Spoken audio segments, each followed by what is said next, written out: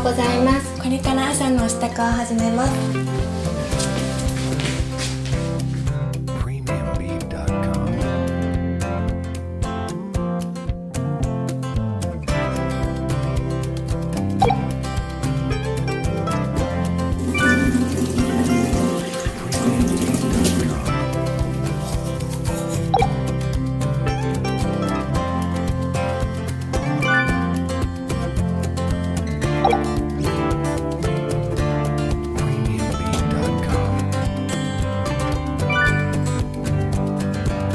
朝起きてすぐにこの後頭部にうねりが出るのが気になるのとあと髪の量が多くてまとまらないことが、はい、気になります。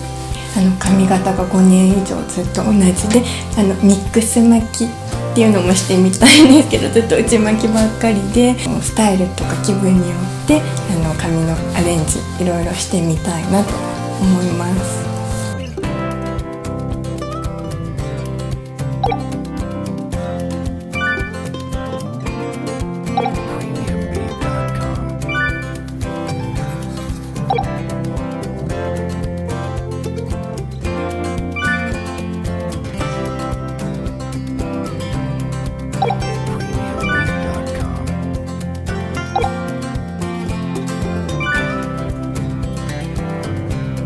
朝起きると髪の毛の後ろのところが絡んでいましてで頭がちょっとボリュームが出てしまうの。と朝はちょっとバタバタしてしまって時間がないのであのアイロンで内巻きに巻くんですけれどもちょっと時間が経つとまたすぐこうやって右側に全部跳ねてしまうのでどうにかならないかなと思うんですがもう時間もないので出勤してしまいます。お洋服に合わせていろいろな髪型をしてみたいなと思ってるんですがなかなかそれが難しくっていつもと同じような形になってしまいます。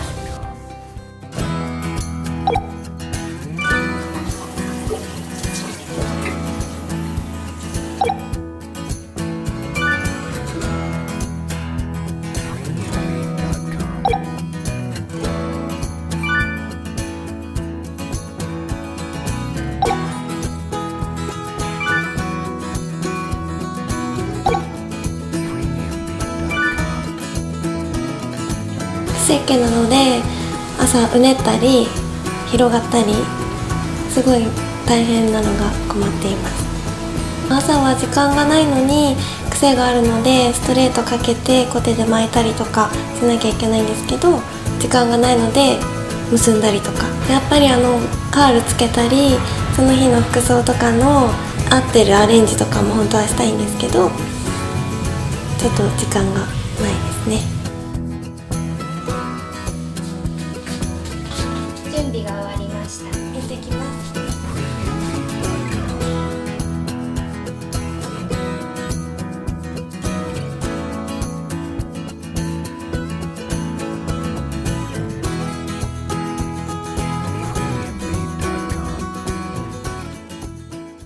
日はよろしくお願いします。朝シャン派ですか？夜シャン派ですか？夜シャワー浴びると、うん朝寝癖直すのが大変で、日によって朝浴びることもあります、結構じゃあ朝時間かかってしまはいそうなんですよね。朝まとまりが悪いって言ってたので、今日洗い流さないトリートメントで、あ夜シャンプーしてでトリートメント洗い流さないトリートメントつけたら、結構朝起きたら結構まとまってくれるタイプのやつこれすごいが、ありがたいです、ね。なのでそれをつけてままとまるような形にしていこうかなと思うので、はい やっていきますね、はい。バターっていうのは熱が溶けて冷めると固まるじゃないですか、コテの熱で溶けてくれて離した時の状態で固まってくれるのでこういうツヤを出しながらパールを作ってくれてなおかつ固定して長持ちしてくれるという艶やかな維持してくれるようなトリートメントになってます。つける量がだいたいこれぐらいの量でそんなにいっぱいないですね。そうそうそうそう。手にこれ取ってもらってこの透明になるまでしっかり伸ばしてください。もうこれキラキラするぐらいに。でそれをなんか一つ結びするみたいに最初こういう風につけてあげてで自分でやる時だったら、い。こうやったら大変なんでなんかちょっと横向いてもらってで最初に痛みの一番気になる中間から毛先につけてあげてちょっと余ってるなっていうところをこう表面につけてあげますで結構お家とかだと、一番最初になんかこうやってパサってつけちゃったりとかするじゃないですか、そうすると一番こう重くなりやすいところになるからよくみんなでボリュームが出づらいとかベタっとした感じになってしまうので先にそう。そうそう中間から毛先の痛みが激しいところからつけてあげて表面につけてあげるといいです。じゃあ乾かしていきますね、で先にここでポイントなんですけど、はあの悩んでるところから乾かしてあげるのがポイントです、結構ね内側に癖が多いので、一番最初に根元をこういう風に揺さるように、えー乾かしていきます。である程度根元が乾いたら前髪を面にするようにパネルにしてこういう風にして、えー引っ張りながらここで熱を当てることによってこうやって外すと冷めてくれるので、このまままっすぐとした前髪が作れます、でもこのままだとただまっすぐになってしまうのをこうオールバックするように、上に持ち上げながら乾かしてふわっとさせます。で指でこうやって押してあげるとふわっとしながら流れてくれる前髪が作れます。で次にトップを乾かしていきます、まずここは分け目ができやすいところなので、えー根元をこすりながら乾かしますで今から内巻きにするのにすごいポイントなんですけれども、はい。えっと実際今大体2つ結びするみたいに割っていただいて、